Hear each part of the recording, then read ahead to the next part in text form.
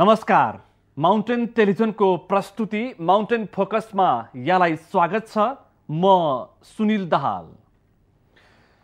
मूलत अहिले संविधान संशोधन र स्थानीय तहको निर्वाचनको विषयमा मुलुकको मूल राजनीति अल्झिएको छ र राजनीतिक अवरोध पनि त्यही नै परेको छ। तर यही बिचमा यी दुई राजनीतिक विषयवस्तुमा बढी चर्चा र बहस भइरहेका बेलामा अहिले मुख्यतया अर्को विषय पनि एकदमै पेचिलो बनेर आइरहेको छ। त्यो भनेको सुरक्षा निकाय नेपाल प्रहरीको आइजिपी नियुक्ति प्रकरण। विशेष त नेपालमा यस्ता नियुक्ति प्रकरणमा धेरै समस्या आउने गर्छ। राजदूत नियुक्ति होस् अथवा न्यायाधीश नियुक्ति प्रकरण किन नहोस् अहिले आएर सुरक्षा निकायको प्रमुख नियुक्ति प्रक्रियामा पनि त्यस्तै किसिमको समस्या देखिएको छ। जुन राजनीति मुद्दा नै ओझेलमा परेको छ। आज हामी पछिल्लो राजनीतिक घटनाक्रम आइजिपी नियुक्ति प्रक्रिया मधेसको समस्या र संविधान कार्यान्वयनका विषयमा केन्द्रित भएर छलफल गर्दैछौँ आजको छलफलमा सहभागी हुनुहुन्छ। नेकपा माओवादी केन्द्रका एकजना प्रभावशाली नेता गोपाल किराँती साइला। स्वागत छ यहाँलाई। आराम हुनुहुन्छ? प्राय जिल्लातिरै बस्नुहुन्छ क्यारे होइन? काठमाडौँ चाहिँ अलिक कम नै बस्नुहुन्छ। किन? पार्टीले एक नम्बर प्रदेशको जिम्मेवारी दिएको छ। र विराटनगरमा प्रदेश कार्यालय छ। त्यसलाई केन्द्र बनाएर बढी पूर्वमा म खटिराखेको छु यो चाहिँ प्रदेश हुन नसकेको र प्रदेश बन्ने क्रममा रहेको प्रदेश नम्बर एकको जिम्मेवारी तपाईँले काम गर्दै हुन्छ त्यो भोलि तलमाथि हुन पनि सक्छ खैर त्यो विषयमा पछि आउनेछु सुरुमै म यो आइजिपी नियुक्ति प्रकरण जान्छु अहिले राजनीतिको मूल मुद्दा भन्दा पनि यो मुद्दा अलिक धेरै कठिन र पेचिलो बनेको छ यो एउटा नेपाल सरकारको कर्मचारी नियुक्ति प्रक्रियामा देखिएको यो अस्त व्यस्तता भाँड भैलो खिचातानी यसले समग्र रूपमा नेपालको प्रशासनिक क्षेत्रलाई कतातर्फ लैजाँदैछ? वरियता क्रम मिचियो भन्ने समाचार सुनिएको छ। त्यसको सम्बन्धमा परम्परा र नियमहरू के छन्? त्यसअनुसार सरकारले गरेको छ कि छैन?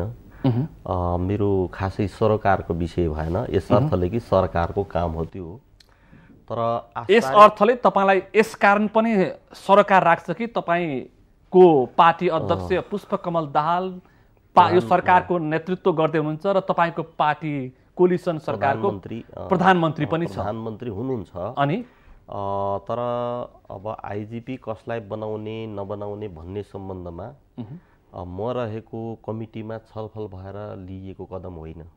त्यस कारणले त्यसको अर्थ मेरो विरोध र आलोचना होइन। त्यसकारण मेरो जानकारीको विषय भएन। सञ्चार जगतमा जो आयो त्यसैबाट मैले जानकारी प्राप्त गरेको छु। आशारै यस अर्थले लागेको छैन कि रुखमाङ्गत कटुवालको जत्रो काण्ड होइन।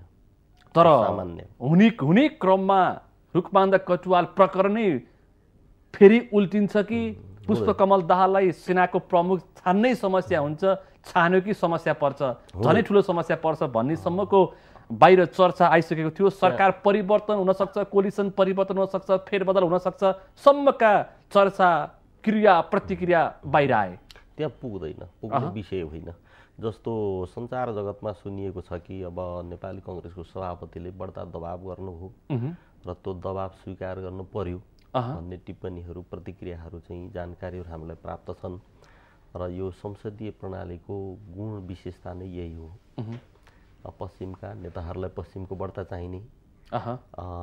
पूर्वमा नेतालाई पूर्व बढी चाहिने। बढी चाहिने हुनेहरूको अब हामी नहुनेहरूको चाहिँ हामी अब झगडा गरेर बस्ने। त्यो स्थितिमा यदि त्यसरी वरियता क्रम मिच्न नहुने नियम र परम्परा रहेछ भने यो आलोचना टिप्पणीहरू सही हुन्। नेपाली कङ्ग्रेसको सभा तर वरियता क्रममा चाहिँ फेरि जुन किसिमको चर्चा आज म कुनै प्रति बायस र कुनै प्रति म नजिकता भएर भन्न खोजेको होइन। जुन पदको लागि वरियता क्रममा चाहिँ काम लाग्दैन। तपाईँले बनाएका एकजना पूर्व प्रहरी प्रमुख रविन्द्र प्रताप शाहसँग तपाईँ भन्दा केही छिन अगाडि मैले छलफल गरेको थिएँ यही टेबलमा। यो चाहिँ यस्तो प्रक्रिया हो भनेर उहाँ भन्दै हुन्थ्यो। तर नैतिकताको हिसाबमा चाहिँ अलिकति हिसाब किताबमा जोर घटाउ हुन्छ भन्दै हुनुहुन्थ्यो। त्यो दौडने क्रममा चाहिँ नि को अगाडि हुन्छ उसलाई चाहिँ प्राथमिकता दिने भन्ने सायद त फौजमा एउटा चाहिँ नि प्रचलन हुन्छ। अब त्यो दौडमा जसलाई चाहिँ नि सरकारले नियुक्ति गर्यो प्रमुखको रूपमा उहाँ। नै प्रथम हुनुहुन्थ्यो या अरू हुनुहुन्थ्यो? अब मेरो जानकारीको विषय भएन। तपाईँको जानकारीको विषय चाहिँ भएन तर जुन किसिमको अहिले घटनाक्रमहरू सतहमा आएका छन् त्यसले चाहिँ मुलुकको एउटा सुरक्षा निकायलाई जो समाजसँग प्रत्यक्ष सरोकार राख्छ सामाजिक उत्तरदायित्व समाजसँगै बसेर वहन गर्छ त्यो सङ्गठनको साङ्गठनिक संरचना चाहिँ कहाँ पुग्छ भन्ने सवाल चाहिँ आइरहेछ। हरेक विषय अब सुप्रिम कोर्ट पुग्छ। त्यो दुःखद विषय हो। सर्वोच्च अदालतले पनि आफ्नो चाहिँ अब कारवाही अगाडि बढाइरहेकै छ। त्यसमा अन्तत अब वस्तुसङ्गत न्यायचित ढङ्गले नै अब निर्णय होला भन्ने हामी आशा राख्न सक्छौँ। खैर तपाईँले अहिले धेरै पन्छिएर सवालको जवाब दिनुभयो। म त्यसतर्फ तपाईँलाई धेरै तान्न चाहिनँ तपाईँको विषय भनेको संविधान संशोधन स्थानीय तहको निर्वाचन मधेसको समस्या जनजातिको समस्या मूलत राजनीतिका मूल मुद्दा नै हुन्। अहिले हुन त यी प्रकरणले आइजिपी नियुक्ति प्रकरणले अहिले यी विषय ओझेलमा परेका छन्। अब फेरि आउँछन् होला अगाडि बढ्छन् होला। यो पछिल्लो राजनीतिक घटनाक्रम चाहिँ जसरी नेपालको आइजिपी प्रकरण अगाडि बढ्दैछ त्यसरी नै बायस भएर एकाङ्किक भएर बढ्दैछ भनेर विश्लेषण हुँदैछ। पछिल्लो राजनीतिक घटनाक्रमलाई तपाईँले कसरी बुझ्दै हुनुहुन्छ? मूल रूपले तिन दलका प्रमुखहरूको बिचमा छलफल केही दिन अगाडि मात्र चल्यो। त्यो सकारात्मक भन्ने हामीले सुनेका छौँ हामी खुसी व्यक्त गर्दछौँ त्यस अर्थमा र मधेसवादीहरूसँग छलफलको निम्ति नेकपा एमाले का नेताहरू सक्रिय हुनुभएको छ भन्ने पनि सुनिएको छ। त्यो पनि ठुलो खुसीको कुरा हो। यस अर्थले कि संविधान सभाबाट मुस्किलले संविधान जारी गरियो। अब हामी माओवादी कार्यकर्ताको निम्ति त अझ महत्त्वपूर्ण यसर्थले हुन पुग्छ कि जनयुद्ध हामीले लड्यौँ। र जनआन्दोलन हुँदै आउँदाखेरि चाहिँ जनयुद्धको उपलब्धि के त भन्ने सम्बन्धमा संविधान सभाबाट संविधान खास गरिकन गणतन्त्रको व्यवस्था। राजतन्त्रात्मक नेपालबाट गणतन्त्रात्मक नेपालमा हामी प्रवेश गऱ्यौँ। संविधानका थुप्रै कमजोरी र अरू उपलब्धिहरू पनि छन् तर मेरो बुझाइमा गणतन्त्र चाहिँ मूल ढोका हो। गणतन्त्रको रक्षा र संस्थागत गर्न सक्नुपर्छ। सकिएन भने सात सालमा आएको प्रजातन्त्र सत्र सालमा खुसिएपछि नेपाली जनताले जस्तो कष्ट बेहोर्नु पर्यो फेरि त्यो दिन नआओस्। भन्ने कुरामा हामी सचेत हुनुपर्छ। त्यसको निम्ति अब नेकपा एमाले असाध्यै चाहिँ प्रतिपक्षमा त रहन त पुगेको छ। तैपनि नेकपा एमाले सत्ता पक्ष प्रमुख राजनीतिक दल मधेसी मोर्चाको सवालमा बुदागत रूपमा तपाईँसँग आज म छलफल गर्न इच्छुक छु। लामो समय पछाडि तपाईँको समय मैले प्राप्त गरेको छु। म तपाईँले जनयुद्ध तपाईँहरूको भाषामा सशस्त्र युद्ध। तपाईँले जुन उद्देश्य मूल भावना र जुन किसिमको मर्म बोकेर तपाईँले हतियार उठाउनु भएको थियो दस वर्षको युद्ध सत्र हजार नेपाली जनताको रगत चाहिँ बेअर्थ भयो भनेर पनि राजनीतिक वृत्तमा टिप्पणी हुन्छ। त्यसै भन्छन् विज्ञहरू बुझेकाहरू बेअर्थ गरायो माओवादी नेतृत्वले तपाईँका कार्यकर्ता तपाईँका सामान्य नेताहरू त्यसै भन्छन्। बेअर्थ भयो। दस वर्षको युद्ध र सत्र हजार नेपाली जनताको रगत। एक्काइसौँ शताब्दी एकातिरको समाज अर्कोतिर नेपालमा चाहिँ के हुने गरेको छ भने खोजे जति नपाइने। नेपाली कङ्ग्रेसले सात सालमा जे खोजेको थियो पाएन होला सायद। अब नेकपा माले पनि पञ्चायती कालमा जो सशस्त्र आन्दोलन गरेको थियो पायो पाएन त उसले जान्ने कुरा भयो। त हामीले वर्गीय जातीय क्षेत्रीय महिला उत्पीडनको अन्त्य भएको नेपाल। र स्वाधीन अर्थतन्त्र निर्माण गर्ने व्यवस्था भएको नेपाल समग्रमा नयाँ नेपाल निर्माण गर्ने भनेर सुरु गऱ्यौँ। दुईवटा कुरा ऐतिहासिक उपलब्धिको रूपमा हामी ठान्दछौँ पहिलो हो कि गणतन्त्र। यो सामान्य कुरा होइन। बिस पचास वर्षपछि का पुस्ताले मात्रै यसको महत्त्व सायद बुझ्छन्। जो हामी गणतन्त्रको निम्ति समर्पित भएर लागेका थियौँ। तपाईँले भन्नुभयो यथार्थ त्यही हो सत्र हजार साथीहरू हामीले गुमायौँ सत्र हजारमध्ये तेह्र हजार त माओवादी कार्यकर्ताहरू हामीले गुमायौँ र प्राप्त गऱ्यौँ गणतन्त्र यो धेरै ठुलो कुरा हो। तर यो गणतन्त्र मजदुरको किसानको उत्पीडित जाति क्षेत्र महिला दलितको भन्ने भइसकेको छैन।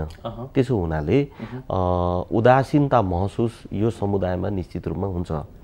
अर्को चाहिँ नेपाली समाजमा ऐतिहासिक महत्त्वको चेतना जागरुक भएको छ। गणतन्त्र हासिल गर्नमा र चेतना जागरणमा जनयुद्धको ऐतिहासिक भूमिका रहेको छ। यो जागृत चेतनालाई चाहिँ कसरी व्यवस्थित गर्ने र हामीले भनेको नयाँ नेपालतर्फ कसरी डोर्याउने भन्ने अहिलेको चुनौती हो।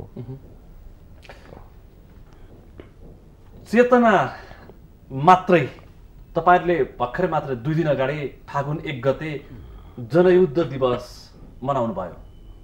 मनाउनु भयो होइन? हजुर।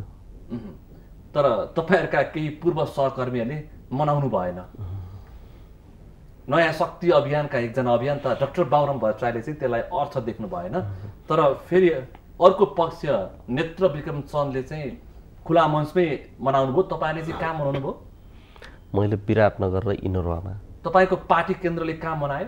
पेरिस पेरिस डाँडामा। खुला मञ्चबाट पेरिस डाँडामा सीमित हुँदै हुनुहुन्छ।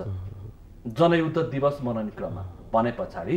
अब प्राप्त उपलब्धि संस्थागत हुन्छ भनेर पनि कसरी आशा गर्ने? तपाईँहरू आफै खुम्चिँदै खुम्चिँदै खुम्चिँदै ठुलो माओवादी केन्द्र सानो माओवादी केन्द्र भएको छ। माओवादी कसलाई माओवादी भन्न पनि जनतालाई समस्या भएको छ। कहिलेकाहीँ जनता नै रनभुल्ल पर्छन् जनता नै झुक्किन्छन् कुन चाहिँ हो खास माओवादी भनेर?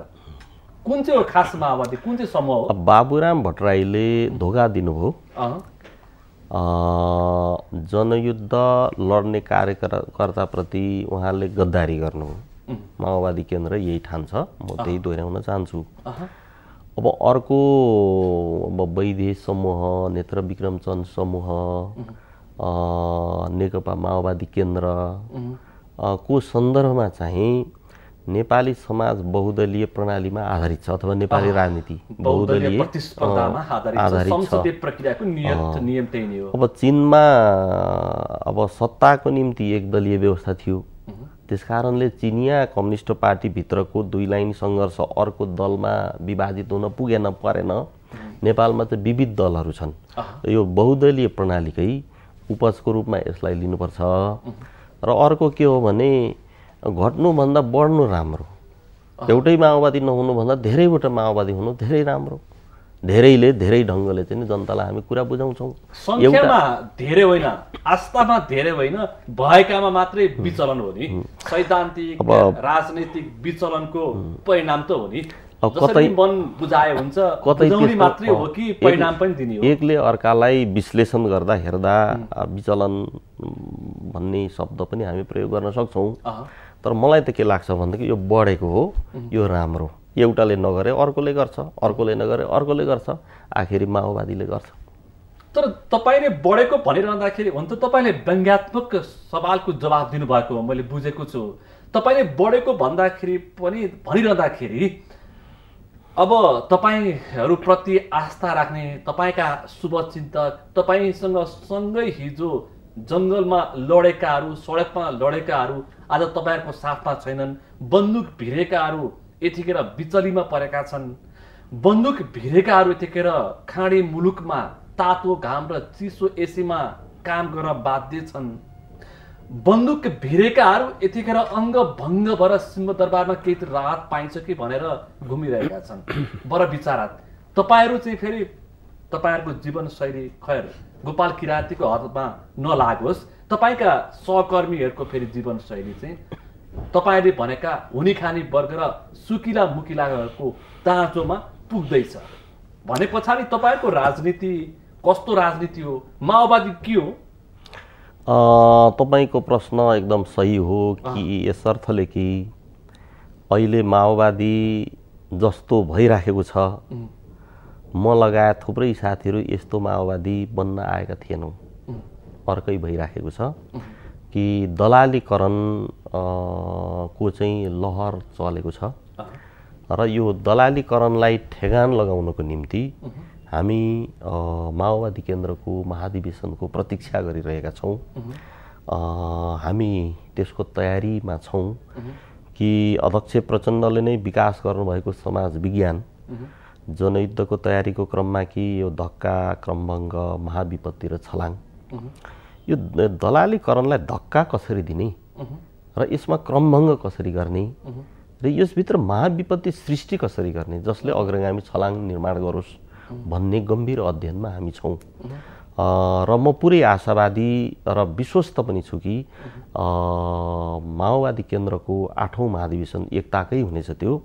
आठौँ महाधिवेशनबाट यो पार्टीलाई हामी चुस्त दुरुस्त व्यवस्थित सुदृढ बनाउनेछौँ र देशको सम्पूर्ण जिम्मा लिने तागतको नाममा हामी बदल्नेछौँ।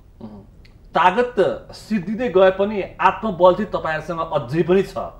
तागत घट्दो छ आत्मबल चाहिँ नेताहरूमा छ कार्यकर्तामा छैन। हिजो अस्ति तपाईँहरूसँग सँगै जोडेका फेरि पनि मैले दोहोऱ्याएँ।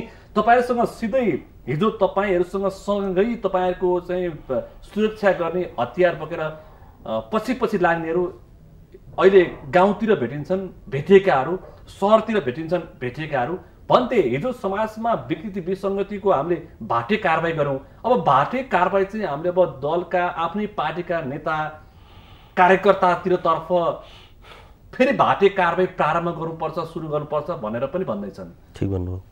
अब यसलाई पार्टीमा मैले राष्ट्रिय कार्यकर्ता महोत्सव आयोजना गर्नुपर्छ भनेर एउटा प्रस्ताव गर्दैछु। राष्ट्रिय कार्यकर्ता महोत्सव। महोत्सव। त्यो चाहिँ के को लागि? अब जसलाई सैद्धान्तिक रूपले महान सर्वाह र सांस्कृतिक क्रान्ति भनिन्छ माओ चेतुङले राज्यमा गर्नुभयो त्यो राज्यव्यापी रूपमा। हामीले त्यो राज्य जिति नसकेको अवस्थामा पार्टीव्यापी रूपमा गर्नुपर्छ। त्यो चाहिँ एक महिनाको हुनुपर्छ। कि पार्टीको हैसियत दुरुपयोग गरेर पार्टीका नेता कसैले सम्पत्ति कुम्ल्याएका रहेछन् भने छन् भन्ने छ। रहेछन् भने न्यूनतम अब पनि नदिनुहोस्। अब तपाईँलाई पनि धेरै कुरा थाहा छ तपाईँका धेरै असन्तुष्टि बाहिर आइरहेछन्। पार्टी सदस्यहरूलाई जिम्मेवारी घोषणा गर्नु पऱ्यो कि महिना दिनभित्र पत्ता लगाएर जफत गर। पार्टी सदस्यलाई जिम्मा लगाउनु पर्यो महिना दिनमा पार्टी सदस्यले साफ गरिदिन्छन्। त्यो धेरै राम्रो हुन्छ। महाधिवेशनमा एउटा मेरो माग यही हुन्छ। खै म एकैछिन विश्राममा जान्छु। विश्रामपछि तपाईँसँग अझै धेरै गहकिला र पिचिला सवाल जवाब लिएर आउनेछु तपाईँसँग। धेरै छन् मसँग आज सवाल।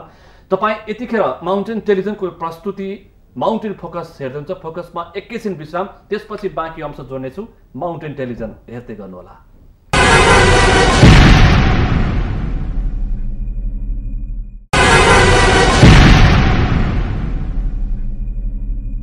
यहाँलाई पुनः स्वागत छ। तपाईँ यतिखेर माउन्टेन टेलिभिजनको प्रस्तुति माउन्टेन फोकस हेर्नुहुन्छ। फोकसमा हामी समसामयिक राजनीतिक घटनाक्रम र पछिल्लो पटक राजनीतिका वरिपरि रहेका अन्य घटनाक्रमसँग पनि जोडिएर छलफल गर्दैछौँ र छलफलको विशेषता आज हामीसँग संविधान संशोधन स्थानीय तहको निर्वाचन मधेसको समस्या र त्यस पछाडि संविधान कार्यान्वयन र समस्या जहाँ देखिएको छ संविधान कार्यान्वयनमा जहाँ संविधान नै धरापमा पर्दैछ भनेर घातक टिप्पणी र विश्लेषण भइरहेको अवस्थामा एकजना नेकपा माओवादी केन्द्रका एकजना प्रभावशाली नेता गोपाल किराती साइलासँग म आज कुराकानी गर्दैछु। यहाँलाई पुनः स्वागत छ।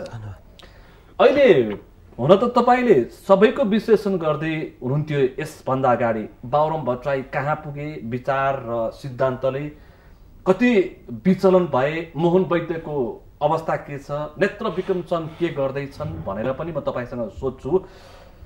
तपाईँहरूको माओवादी केन्द्र चाहिँ साँच्चै सिद्धान्तबाट विचलन भएको र वैचारिक विचलनमा फसेको एजेन्डा विहीन भएको र प्राप्त उपलब्धिलाई रक्षा गर्न नसक्ने अवस्थामा अङ्ग भङ्ग भएको र संसदीय दलदलमा साँच्चै नै थिलथिलो भएको सैद्धान्तिक रूपले संसदीय दलदलमा माओवादी केन्द्र प्रवेश गरिसकेको छैन। किनकि तत्कालीन ए माओवादी समूहद्वारा संविधान सभामा संसदीय प्रणालीको विरुद्धमा फरक मत दर्ज गरिएको छ। र अहिले दस समूहको एकताबाट बनेको माओवादी केन्द्रले पनि त्यसैलाई आधार मान्दछ। र तेह्र बुधे आधार पत्र जो निर्माण गरेका छौँ त्यही अन्तरिम कार्यदिशा द्वारा अहिले माओवादी केन्द्र सञ्चालित छ। संसद हामी उपयोग गर्न बाध्य छौँ किनभने संविधान सभामा हामीले दुई तिहाई पुर्याउन सकेनौँ। तर हाम्रो त्यसमा विमति छ। तर सैद्धान्तिक रूपले यो भयो भने व्यावहारिक रूपले चाहिँ अब संसदीय अब भाषमा अधिकांश नेताहरू जाकिँदै गएको पाइन्छ। यसको अब उदाहरण हामी वा प्रमाण यसरी दिन सक्छौँ कि निर्वाचन क्षेत्र र रक्त सम्बन्धलाई केन्द्रबिन्दु मान्ने प्रवृत्ति पार्टीमा एकदम हाबी हुँदै गएको छ। जस्तो मेरो नेता टोप बहादुर रायमाझी यो संविधानको संशोधन प्रस्तावको विरुद्धमा बुटवलमा धेरै भाषण गरेर आउनुभयो। पेरिस डाँडामा हामी भेट्यौँ। मैले उहाँलाई सोधेँ के गरेको कमरेड? उहाँले जवाफ दिनुभयो चुनाव जित्नु परेन। मैले भने तपाईँले मात्रै जितेर हुन्छ उदाहरणको लागि। त्यस कारणले आफूले मात्रै जित्नुपर्ने। यो त एउटा मैले चाहिँ कार्यपत्र पुस एघार गते माओ दिवसमा सार्वजनिक गरियो। त्यहाँ लेखेको छु कि माओवादी केन्द्रमा जनवार प्रवृत्ति हाबी भयो। प्रवृत्ति। यो वाम दक्षिण मध्य प्रवृत्ति भनेर कम्युनिस्ट आन्दोलन भनिन्छ। त्यसमध्येमा दक्षिणपन्थी प्रवृत्ति चाहिँ बडो चाहिँ खराब भनेर चाहिँ ठानिन्थ्यो। मध्यप्रन्थी मध्य प्रवृत्ति पनि त्यो बिचमा चाहिँ नै लड्किरहने हुने अब वाम प्रवृत्ति भनेको धेर छिटो चाहिँ दौडेर पहरामा टाउको ठोकाउने यी खराब प्रवृत्ति भनिन्थ्यो। त्यो त राम्रै रहेछ भन्ने मलाई अहिले लाग्दैछ। किनभने मान्छेमा हुने वैचारिक प्रवृत्ति हो त्यो। तर माओवादी केन्द्रमा चाहिँ जनवार प्रवृत्ति हाबी हुन खोज्दैछ। र त्यसको विरुद्ध चाहिँ नि अब दुई लाइन सङ्घर्षमा तयारी गरेर हामी लाग्नु छ। जनवार प्रवृत्तिमा नै जस्तो गाई भैँसी वा भेडा बाख्रा थुप्रै हामी घरपालुवा जनावरहरू हामी देख्छौँ कि त्यो भैँसीले गाईले उसको बाछालाई पाडालाई असाध्यै माया गर्छ। तर बाछा र पाडालाई दिएको कुँडो खोले घाँस फटाफटी खाइदिन्छ। माओवादी केन्द्रमा त्यो हाबी छ। तर हामी यसलाई चाहिँ नि सुदृढ गर्न सक्छौँ। जनवार प्रवृत्तिलाई हामी परास्त गर्न सक्छौँ। र माओवादी केन्द्रलाई हामी सर्वहाराकरण क्रान्तिकरण गर्न सक्छौँ। यस अर्थले कि काङ्ग्रेसको सर्वहाराकरण परिकल्पना बाहिरको कुरा हो।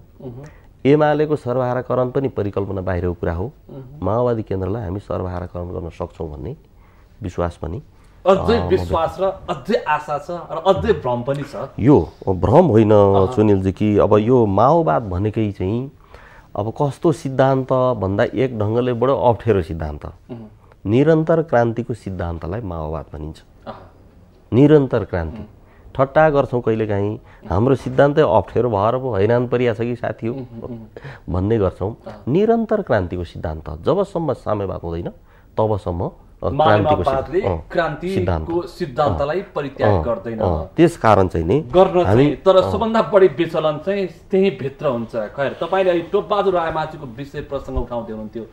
तपाईँलाई लाग्छ अहिले यो सात प्रदेश जुन ढङ्गले रेखाङ्कन र चित्राङ्कन गर्ने गरिएको छ त्यो त्यति वैज्ञानिक छ त्यति सुहाउँदो छ। नेपाली माटो नेपाली भाषा संस्कृति नेपालको हाम्रो हिमाल पहाड तराई जस्तो प्राकृतिक दिन जुन किसिमको छ। हामी अरू देशको उदाहरण प्रस्तुत गरेर होइन होला नि त। आफ्नै देशलाई सुहाउँदो खालको सङ्घीयता प्रदेश हामीलाई चाहिएको होला नि त किराँतीज्यू। चौध प्रदेश चाहिँ अब पहिलो संविधान सभाको राज्य पुनर्संरचना समितिले प्रस्तुत गरेको हो जसमा नेपाली कङ्ग्रेसको चाहिँ असहमति थियो। मधेसवादीहरूको पनि अब बिचबिचको जस्तो चाहिँ नि थियो। समितिमा चाहिँ माओवादी र एमाले हामी मिल्यौँ र बहुमतले त्यो प्रतिवेदन अगाडि सारेका थियौँ। तर दोस्रो संविधान सभामा नेपाली जनताले जुन फैसला गरे त्यो फैसलाको आधारमा माओवादीले सक्ने स्थिति रहेन। इतिहासको निर्माता जनसमुदाय हो मार्क्सवादले यही मान्छ र हामी मार्क्सवादीहरूले हामी त्यही मान्दछौँ। तर जनतासँग पनि मेरो चाहिँ अब अब टिप्पणी के भने चौसठी सालको चुनावमा माओवादीलाई ठुलो पार्टी बनाइदिनु हुँदैन थियो। त्यो चाहिँ गल्ती भयो। गल्ती जनताको गल्ती हो त्यो। ठुलो पार्टी ठुलो पार्टी माओवादीलाई बनाइदिनाले काङ्ग्रेस र एमाले अनावश्यक रूपले आतङ्कित भए। भयभीत भए सन्तस्त बने। परिणाममा संविधान बन्न सकेन। दोस्रो तेस्रो बनाइदिनु पर्थ्यो। गजबले संविधान बन्थ्यो। अब फेरि सत्तरी सालको दोस्रो होइन। जन जनतासँग पनि बहस गर्नुपर्छ। जनतासँग पनि बहस गर्न जरुरी छ। सधैँ महान र आदरणीय जनता भनेर मात्रै हुँदैन। जनतासँग मतदातासँग बहस गर्नुपर्छ। अब यस कारण भोलि मैले चाहिँ नै चुनावमा उम्मेदवार नहुँदाखेरि नपाउने भोटको क्षति बेहोर्न म तयारी छु। त भइसकेपछि दोस्रो संविधान सभामा चाहिँ यति सानो बनाइदिनु हुँदैन थियो माओवादीलाई। यति सानो बनाइ छब्बिस सिट हो। प्रत्यक्षतर्फ हेऱ्यो भने एक सय बिसबाट एक सय छब्बिस। पार्टी फुट्यो दुनियाँ भयो। फुटेर जाने त्यो बेला वैद्य समूहको त चुनाव लड्नु भएन। नदिए भइहाल्यो भोट। र चाहिँ चुनाव लड्ने माओवादीले पर्यो होला। त भइसके पछाडि चाहिँ माओवादी चाहिँ ए माओवादीले जो चुनाव लड्यो यति बर्बाद गर्नुहुन्थेन। त्यस कारणले चाहिँ भोट दिने बेलामा पहिचान विरोधीलाई अन्त खै पहिचान भनेर खोजेर त पाइँदैन कहाँबाट ल्याएर दिने पहिचान। त्यसो हुनाले चाहिँ अहिले सात प्रदेश जो भएको छ अघिल्लो संविधान सभामा पनि पहिचानवादीलाई त राम्रै मत दिएको हो नि। तपाईँहरू अब जनता एकीकृत माओवादी होइन परिवर्तनको पक्षधर हामी हो हामीलाई मत देऊ। जनतासँग जनताले दिए तपाईँले त्यसलाई चाहिँ संस्थागत गर्न सक्नु भएन जनतासँग फेरि दोस्रो संविधान सभामा तपाईँलाई चिप्टाइदिए जनतासँग मतदातासँग मेरो बहस के हुन्छ भनेदेखि चाहिँ एक छाक मात्र खाएर त हुँदैन। एक दिन मात्र खाएर हुँदैन। सधैँ खाइराख्नु पऱ्यो नि त। एक दिन नुहाएर पनि हुँदैन। एकै दिन मात्रै मुख धोएर पनि हुँदैन। दिनै पछि धोइराख्नु पर्यो त्यसो हुनाले चाहिँ सङ्क्रमण कालको बेला नेपाली जनताले साई सेना दुनियाँ चाहिँ अब तपाईँको चाहिँ अब निर्वाचन आयोगका कुराहरू छन्। त्यो छुट्टै त्यो छुट्टै भयो। जनताकै फैसला हो भनेदेखि चाहिँ फैसला गलत भयो।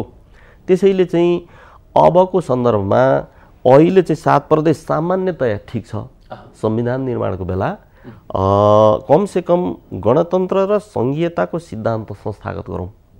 सङ्घीयताको सिद्धान्त संस्थागत गरेपछि अरू गर्दै लैजान सकिन्छ। भन्ने चाहिँ मेरो संविधान संविधान सभाको शक्ति सन्तुलनमा काङ्ग्रेस र एमाले दुई त्यहीँ पुग्छ। एक ढङ्गले भन्ने हो भने धनै मान्दिया हुन्।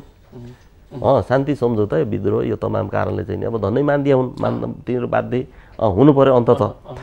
त भइसकेपछि हाम्रो छिमेकी भारतमा पनि एघार प्रदेश थिए अरे सुरुमा। अहिले करिब तिस पुग्या छ। हामी पनि देशमा हामी पनि देशमा जनताको जागरण सकारात्मक चाहिँ पहल र प्रयत्न दलहरूको पनि इमान्दार प्रयत्न भयो भने त्यो हुन्छ। तपाईँले अघि टोपबहादुर रायमाझीको विषय प्रश्न उठाएर पाँच प्रदेशको हेरफेरमा संविधान संशोधन विषयलाई जोड्न खोज्नु भएको थियो। हो अहिले चाहिँ तपाईँले जुन किसिमले जुन आधारमा जुन विज्ञान प्रस्तुत गर्न खोज्नु भएको छ पाँच नम्बर प्रदेशको हेरफेरमा। तपाईँलाई चित्त बुझ्ने खालको तपाईँ जवाब दिन सक्नुहुन्छ। प्रदेश बन्नको लागि के के चाहिन्छ? प्राकृतिक स्रोत साधन हिमाल पहाड तराई हाम्रो जस्तो मुलुकमा कला संस्कृतिको जगेर्नादेखि लिएर त्यहाँको भौगोलिक बनावट मानिसहरूको सोच मानिसहरूको मानसिकता ती सबै जोडिनु पर्दैन। एकातिर तपाईँहरू प्रदेश अर्कोतिर बनाएर चित्त बुझ्छ। तपाईँले भन्नुभएको आधार चाहिँ देश बन्नको लागि हो प्रदेशको लागि होइन।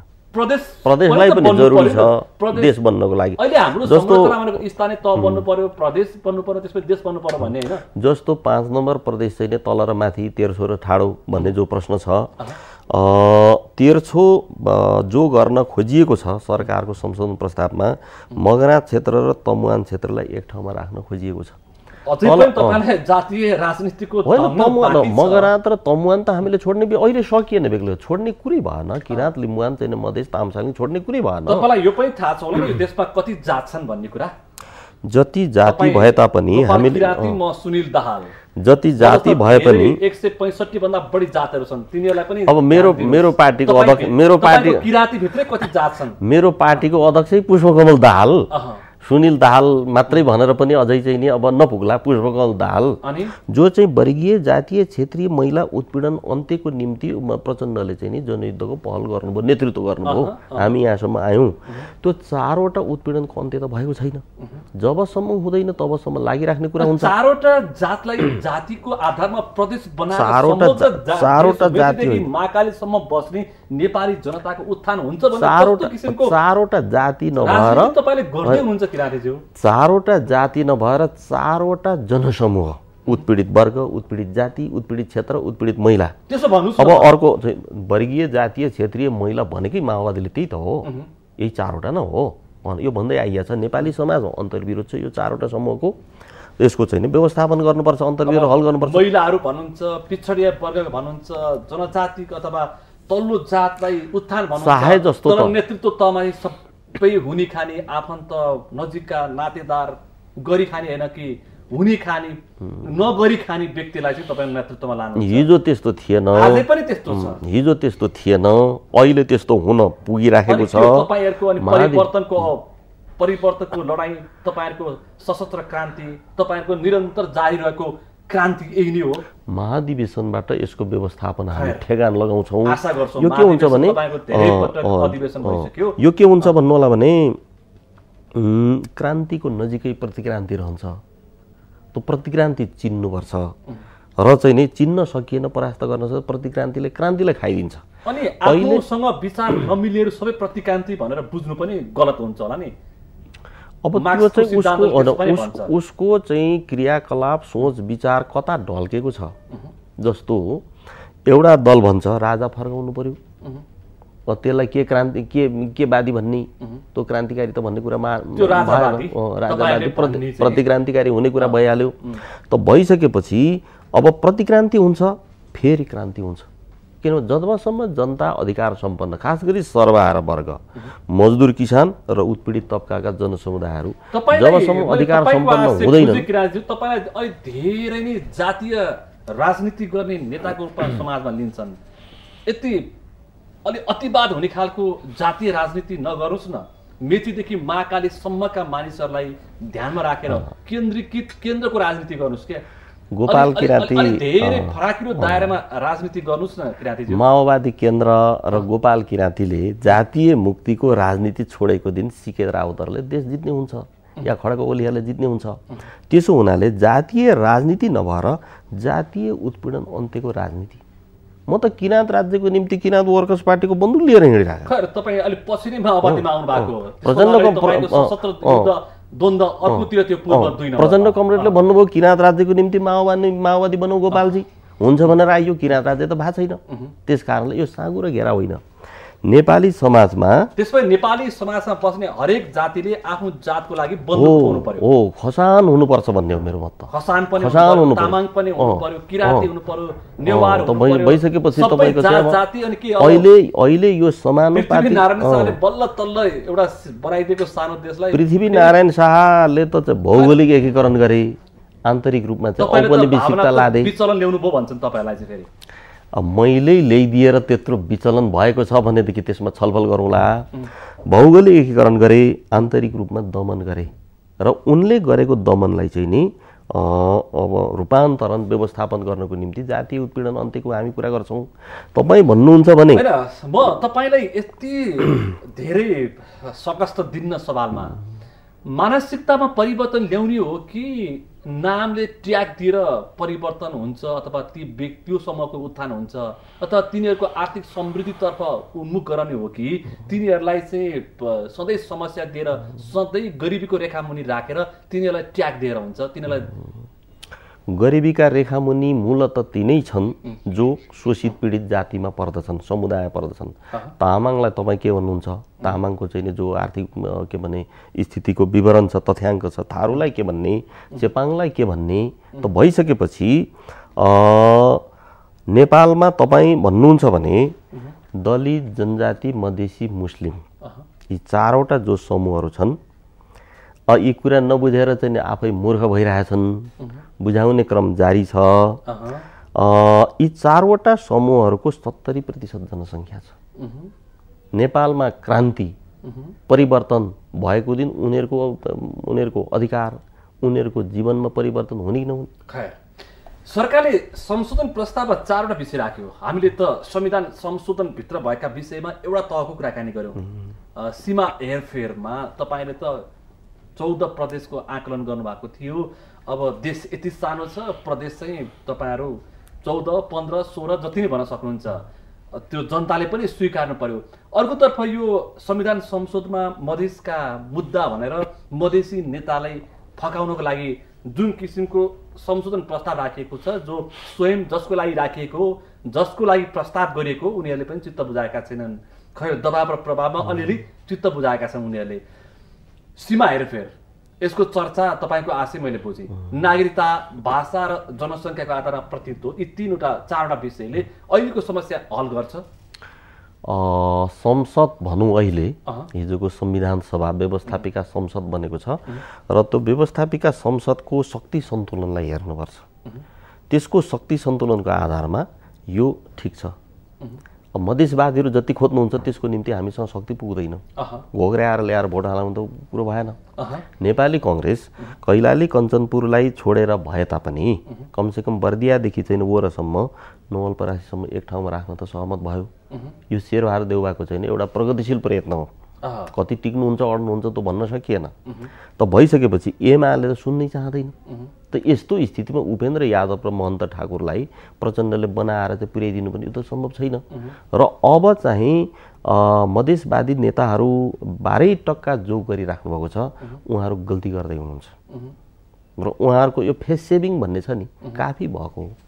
यसलाई पनि नमान्ने भनिसकेपछि त उहाँहरू चाहिँ एकैचोटि साम्यवाद चाहनुहुन्छ। हामी त जनवाद समाजवाद हुँदै साम्यवाद भन्ने छौँ। त्यसो हुनाले उहाँहरू गल्ती गर्दै हुनुहुन्छ। र त्यो गल्तीको क्षति कसरी पूर्ति गर्ने भन्ने सम्बन्धमा अहिले भन्न सकिँदैन। तर अवस्था अलिक धेरै डर लाग्दो भन्छन्। एक एकातर्फ एउटा क्रुत शासकको पनि जन्म हुन सक्छ। अर्कोतर्फ यो मुलुक नरहन सक्छ भनेर यी दुई विषयमा घातक विश्लेषण पनि हुन थालेका छन्। तपाईँ त्यो सम्भावना देख्नुहुन्छ? क्रूर शासक त यी अहिले भएका मध्येबाट निस्कने हो। अब त्यस्तो चाहिँ अब क्रुरै कोही निस्किहालेछ भने उसको तागत पुग्दैन बिचरा। मैले सुरुमा भने जनयुद्ध जनआन्दोलन मधेस लगायतका आन्दोलनले नेपाली समाजमा बहुत ठुलो चेतनाको जागरण गरेको छ। मैले त्यो पनि भने तपाईँले त्यसलाई व्यवस्थापन गर्न सक्नु भएन त्यसमा तपाईँ फेलर हुनुभयो पनि जति क्रूर जङ्गबहादुर आए पनि त्यसको त सामना गर्नु पर्यो व्यवस्थापन गर्नु पर्यो कहाँबाट ल्याएर दिन्छ त्यसले व्यवस्थापन सक्दैन एउटा। अर्को नेपाल र रहने तपाईँले प्रश्न उठाउनु भयो यो अर्को अतिवादले यो मुलुकलाई समस्यामा पार्छ भन्नेहरू पनि छन् त्यो सम्भावना छ? अब अब चाहिँ के भने मुलुक रहने नरहने भन्ने प्रश्नतर्फ अब मेरो खासै त्यो ध्यान र चासो छैन। अब कसैले छिमेकीले खाइदिन्छ कि भन्छन् खाँदैन। मान्छेहरू भन्छन् कि त्यो फालिदिए पनि खाँदैन भन्छन्। भित्रभित्र यसलाई नऔपनिवेशिक चाहिँ मुलुक बनाइराख्न प्रयत्नहरू गर्छन्। अहिलेको भूमण्डलीकरण यो चाहिँ अब जो छ सूचना प्रविधिको जो विकास भएको छ आफ्नो एउटा चाहिँ विरासत कायम गर्ने अब कमजोरीहरू बदमासीहरू छन् दादागिरीहरू छन् त्यसको विरुद्धमा हामी लड्नुपर्छ। अब नेपाल नरहने वा रहने भन्ने प्रश्न चाहिँ विश्वयुद्ध तेस्रो विश्वयुद्ध भइहाल्यो भने त्यो प्रश्न हुन्छ। तेस्रो विश्वयुद्धसम्मको परिकल्पना भयो जस्तो यो यो चाहिँ नि अब अमेरिकाको के राष्ट्रपतिको तौर तरिका इत्यादि भन्ने कता कता कता भन्ने चाहिँ विश्वयुद्धको चर्चा पनि अहिले केही बौद्धिकहरू गर्नुहुन्छ। अहिले विश्वमा जुन जुन शक्तिशाली राष्ट्रले जुन जुन व्यक्तिले नेतृत्व गरेका छन् ती सबै अराजक भित्र पर्छन्। रसा भनौँ चिन भनौँ अथवा अहिलेका ट्रम्प भनौँ अमेरिका अथवा यी छिमेकी मुलुक भारतका नरेन्द्र भाइ मोदी पनि शिथिल मान्छे होइनन् र चलायमान मान्छे हुन् व्यक्ति हुन्। त्यसकारण विश्व युद्धको सम्भावना छ भन्छन् तपाईँले पनि। त्यही प्रश्न उठाउनु खैर त्यो तपसिलमा पछि छलफल गरौँला। स्थानीय तहको निर्वाचन सम्भावना छ। जेठ वैशाख जेठ गतेभित्र एक दुई गतेभित्र सम्भावना छ र सुनिश्चितै छ। सम्भावना मात्र होइन। किनभने सरकारले त्यो प्रक्रिया अगाडि बढाएको छ। सरकारले प्रक्रिया अगाडि बढाएर मात्रै निर्वाचन हुन्छ। सरकार होइन कानुनहरू चाहिँ नि सबै जस्तो भइसके। केही बाँकी छन् त्यो बिचमा गर्दा पनि हुन्छ भन्ने बुझिएको छ। र एमाले नेपाली कङ्ग्रेस अनि त्यहाँ मधेसवादीहरू बिचमा छलफल चलिरहेको छ। यो संशोधन प्रस्तावको विषयमा अब केही प्रक्रियाहरू अगाडि बढ्लान्। त्यसपछि मधेसवादीहरू पनि स्थानीय तहको चुनावमा आउनुपर्छ। म तपाईँसँगको यो वार्तामा खुसी व्यक्त गरिहालौँ कि स्थानीय तह सात सयभन्दा अढी अलिकति बढीको जो बनेको छ पैँसठी सालमै आठ सयवटा जिल्ला बनाउनुपर्छ मैले त भनेको थिएँ। संस्कृति राज्य पुनर्संरचना मन्त्री कि राज्यको पुनर्संरचना भनेको स्थानीय तहबाट गर्नुपर्छ भन्ने मैले दावी गर्छु कि गणतन्त्र नेपालमा स्थानीय तहको वैज्ञानिक पुनर्संरचना कार्य हामीले सुरु गरेका थियौँ। ढिलै भयो भने यो हुँदैछ। र त्यसको चुनाव हुन्छ। हुन्छ। म कार्यक्रमको अन्तिम चरणमा छु। अन्तिममा एउटा सवाल मलाई अत्यन्तै छोटो रूपमा जवाफ दिनु होला यो देशमा धेरै माओवादी भए यो मैले प्रसङ्ग उठाउनुको कारण चाहिँ यो भर्खरै फागुन एक गते तपाईँले मनाउनु भएको हुनाले। पुष्पकमल दाहाल डाक्टर बाबुराम भट्टराईले त मालेमा बाँध्नै छोडिसके। मोहन वैद्य र नेत्र विक्रम चन्द त द्वन्द्व अथवा सशस्त्र युद्धको अन्तिम तयारीमा छन् भनेर बाहिर चर्चा छ। यी चार नेताको नेपालमा भविष्य कस्तो देख्नुहुन्छ? पुष्पकमल दाहाल अब कमरेड प्रचण्डले त मालेमा छोड्नु भएको छैन। उहाँले छोड्नुहुन्न। प्रयोग कसरी गर्ने भन्नेमा हाम्रो विमति त्यहाँनिर सङ्घर्ष हुनसक्छ। बाबुरामले छोडेर जानुभयो। अब बाबुरामको सुदृढ भविष्य सफल भविष्यको निम्ति चाहिँ उहाँले काङ्ग्रेसलाई विस्थापित गर्न सक्नुपर्छ। काङ्ग्रेसलाई विस्थापित नगरेसम्म नयाँ बुर्जुवा पार्टीको। नयाँ मोहन वैद्य। अब त सकिनु भयो मैले चाहिँ नि दुई वर्ष तिन वर्ष अगाडि वैद्यका सात विकल्प भनेर। अब विप्लव विप्लवजीको चाहिँ कमजोरी जोस जाँगर ठिकै छ। त्यो एकीकृत जन जनक्रान्ति भनेको त नबुझिने के सिद्धान्त ल्याउनु हो त बुझिया छैन। उहाँको दुईवटा खोट छ। एउटा त मध्यम वर्गलाई मुख्य शक्ति मान्ने। त्यो भनेको बाबुरामकै विचार हुन्छ। पहिलो दोस्रो चाहिँ उत्पीडित जातिहरूप्रति नकारात्मक दृष्टिभाव राख्ने। यसले विप्लवजीको सफलता सम्भव छैन।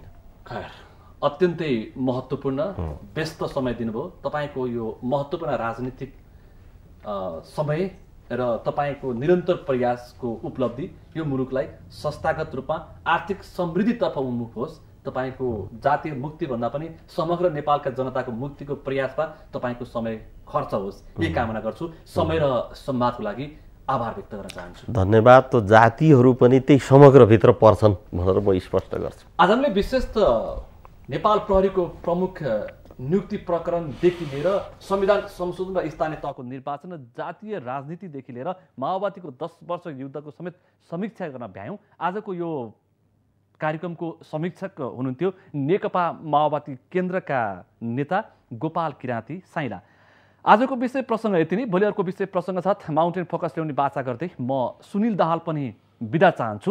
माउन्टेन टेलिभिजन हेर्दै गर्नुहोला। नमस्ते।